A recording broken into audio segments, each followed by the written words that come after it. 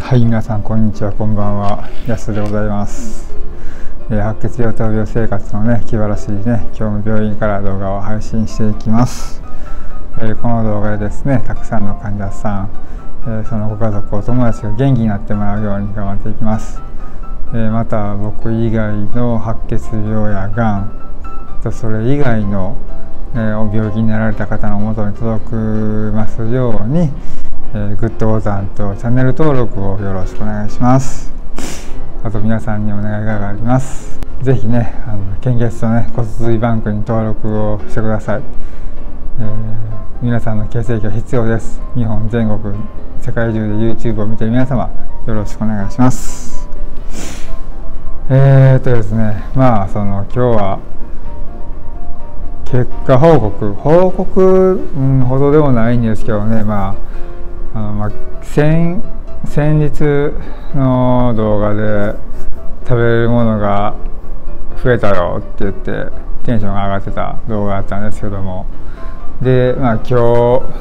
ようやく、えー、コンビニに行ってきまして、えー、おにぎり昆布のねおにぎりとサンドイッチを買って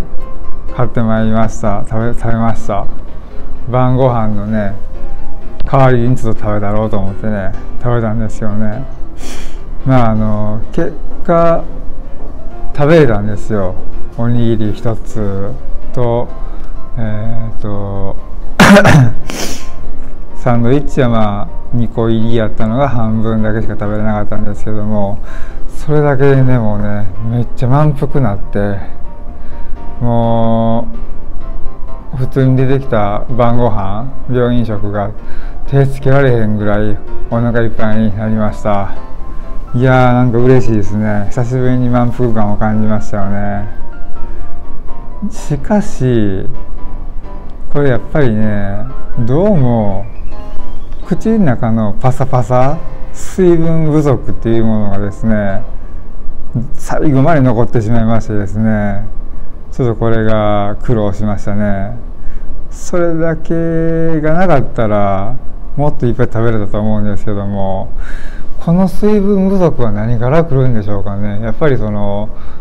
嘔吐下痢から来る脱水から来るんかなと思ったりとかも考えられるのではないでしょうかね。まあちょっと詳しく先生には聞いてないんですけどもまあ今日の今日のことやったんでね今日まだ先生来てないんで多分もうこの時間やったら来えへんかもなって感じですけど。明日来てみて今日のことを伝えてやっぱり口の中がパサパサして食べにくいですわ。